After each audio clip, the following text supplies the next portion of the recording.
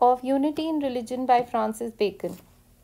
As you know, um, as we had also done in class about Francis Bacon, uh, he has written a number of essays in which he has described uh, various facets of life, uh, you know, individual, personal, social, political, um, in terms of relationships uh, between people and uh, people and society and different elements. Uh, this is a topic uh, of unity in religion uh, in which uh, you know he talks of religion uh, which should not have any diver which, which should not have any discord which should not have any schisms and uh, it should be something which is like a binding force for society. So even though it was written a long time back uh, it is still very relevant in terms of the message that this essay which uh, wishes to convey uh, at the time when Francis Bacon wrote this essay, England was, you know, it it uh, uh, had uh, a, num- a number of uh, problems in terms of uh, different sects of Christianity because. Um, even though Christianity is one religion, there are a number of diversifications in terms of Protestantism, in terms of Catholicism, in terms of the Church of England, and there was, you know, they were looking for some kind of stability, uh, and even the uh, the the monarchs uh, you know either they were uh, shifting towards one or the other and the country seemed to be divided over uh, religion. It was only un- uh, under uh, queen elizabeth i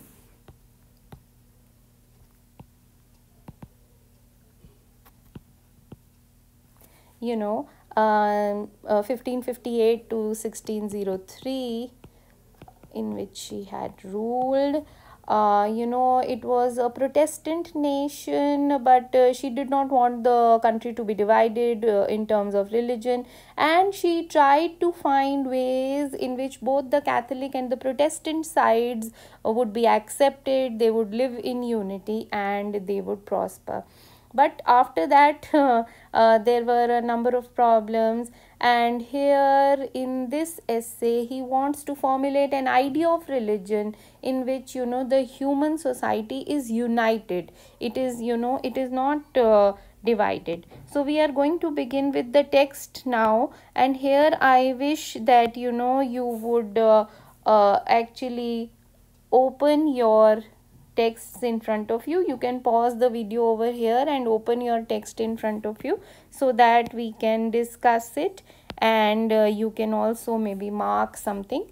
Uh, and uh, as you see he advocates you know unity in religion uh, because uh, uh, we he, he he did not want any religious controversies plots intrigues you know which were taking place at that time he says religion being the chief band of human society, it is a happy thing. It is supposed to unite us. You know, it is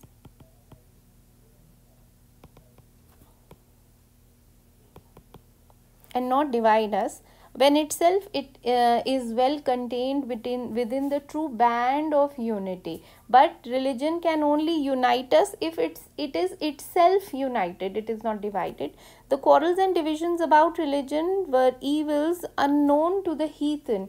Here when he you know he talks of heathen we must remember that he is talking of the pagans. He's maybe he's also talking of the greeks and romans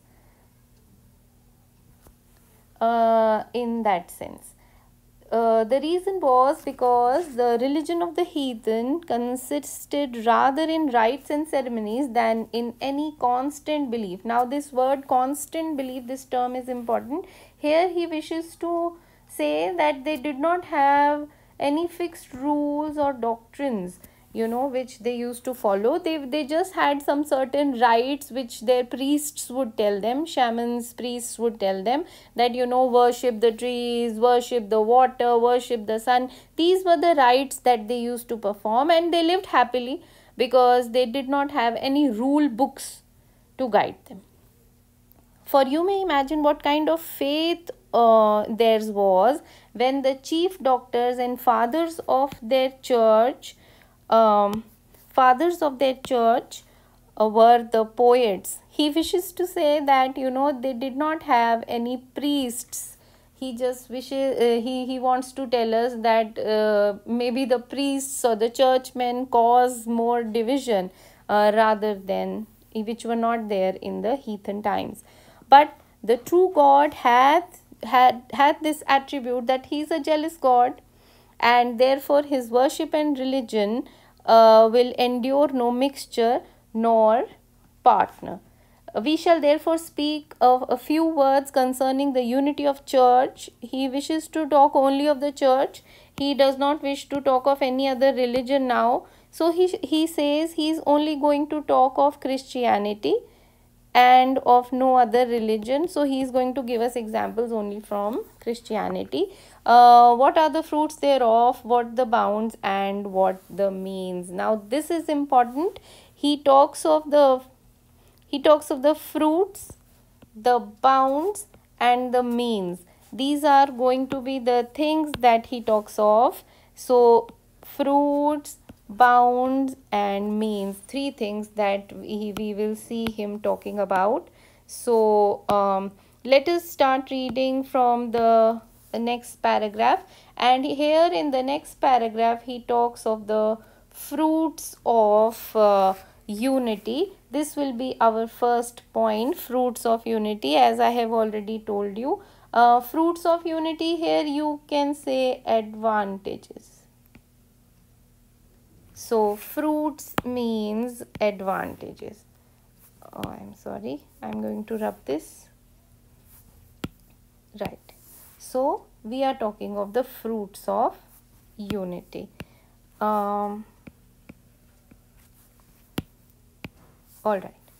Um, and then he says next un, uh, the fruits of unity next unto the well pleasing of god which is all in all. So he says the best advantage of unity is the pleasing of god.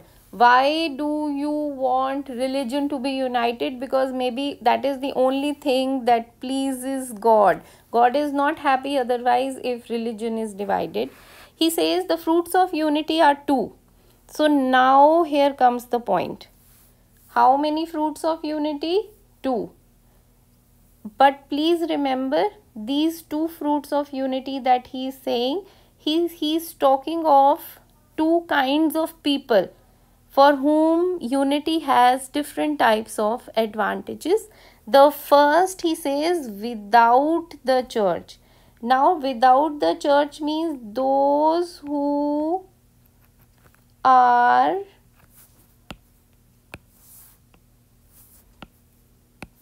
those who are outside and within. Within means inside. So what do you mean by outside? So this is a this is b. Two a and b. So how uh, fruits of unity advantages of unity one for those who are outside and two for those who are inside. So what do you mean by outside and inside? This does not mean that those who are standing outside the church and those who are standing inside the church. Not at all. It means those outside means those who do not believe in the church. So outside means those who do not believe and inside means believers. Those who believe. So advantages of unity for number 1 those people who do not believe in the church. And number 2 for those who believe. Now let us talk of number one first a part those who do not believe. So let me rub this all of this first so that we can read it properly but i hope you have understood the meaning of what is inside and what is outside. All right. So he says for the former. Former means outside. This is a very long paragraph. As you can see this is a long paragraph. In this one paragraph he only talks of point a. Point a means those who do not believe in the church. So if just this is common sense okay? If church is united there is no problem no fighting no schisms. Look at this word that he is using. If there is there are no schisms no scandals. Can you see this word that he is using? No scandals. Then what will happen? It will be a happy picture. You know when a family is united it is a happy picture okay? And then other people are attracted to that family.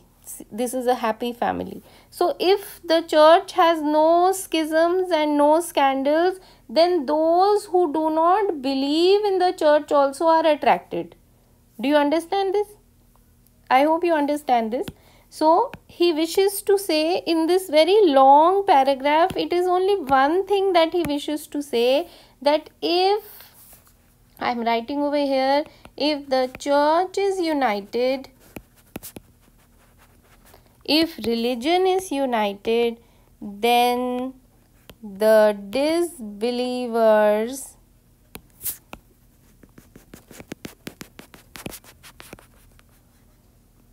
may also be converted to believers you know. So if it is a happy church if it is a united church then you know the other people who are outside will come inside you know. So this will be definitely an advantage of advantage kare na hum advantage of unity. So he says for the former it is certain that heresies and schisms schisms means divisions are of all others the greatest scandals. These are the things that cause a lot of harm okay? Uh, if so schisms schisms is an important word here. And he says and he says more than corruption of manners for um, maybe you can leave this line. I am just going to give you because you know he has used a lot of uh, uh, difficult lines so you can come from here. So so he says so that yahan se padhenge so that nothing doth so keep men out of the church and drive men out of the church as breach of unity. Breach of unity what does breach mean? Breach means when there is a break in unity. So, if the church is not united, then men will stay out of the church. They will be driven out of the church. And therefore, whensoever it cometh to the pass that one saith, ec in deserto, another saith, ec in penetrabile. Now, please, these are Latin terms, and you need to know the meaning of these terms. Uh, you know, he says, this one. Ec in deserto he uh, he wishes to say uh, that you know he is I am writing the meaning over here.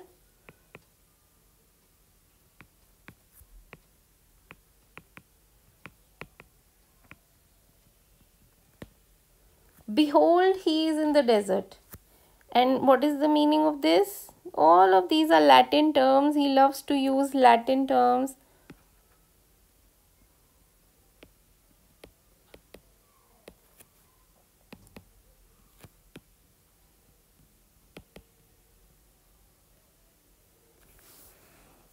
These are the meanings ec in deserto behold he is in the desert. Ec in penetrabilis behold he is in the secret chamber.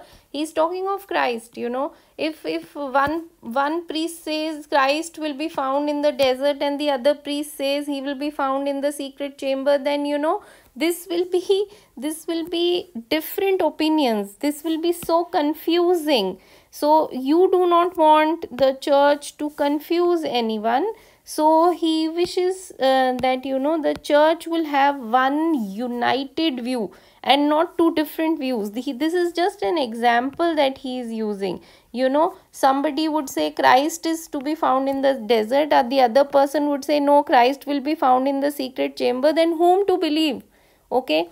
And uh, he and you can just leave this line. This is just an example you of you know how different views can confuse the person who wishes to enter the church.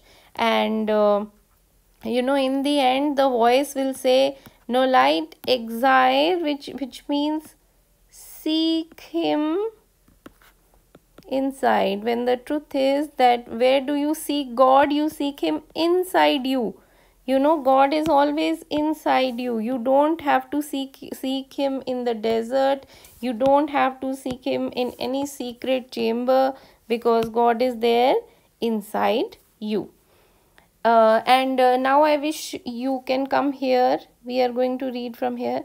He says if an heathen uh, came in and here you speak with several tongues. Several tongues means different things.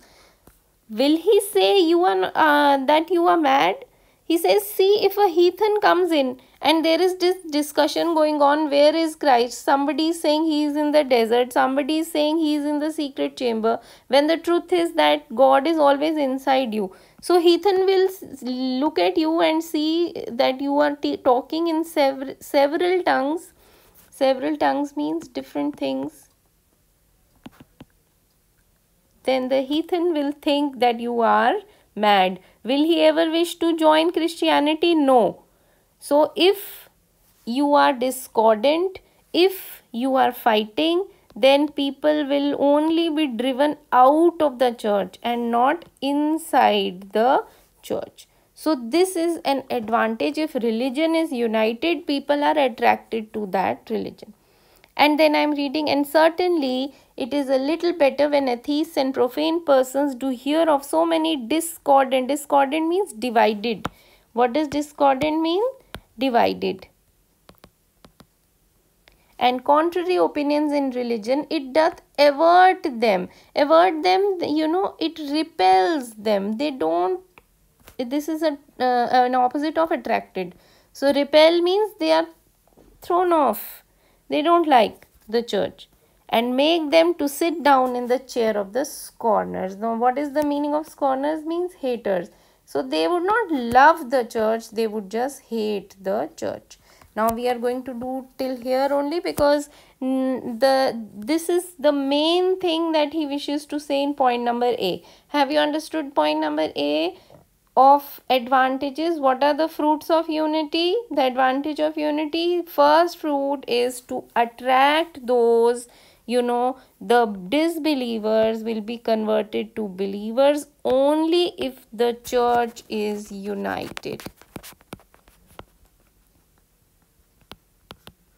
This is important. If the church is divided if everybody is saying different things then they will become haters they will not love the church but they will be repelled by the church. Now I hope this is clear to you. So in my next lecture we will be moving on to the next page here or uh, to maybe the second point where he talks of the fruits of unity towards who are within तो बाहर वालों को तो ये फ़ायदा हो गया that they will be attracted to the church what about the believers those who are already in the church will it have any benefit advantage for them so this we will do in the next chapter hope you are doing good hope you have understood my group is always open for doubts so first year this this much you know read it again think about it and if there are any doubts you can always uh, um, you know ask me. And my next lecture will continue from here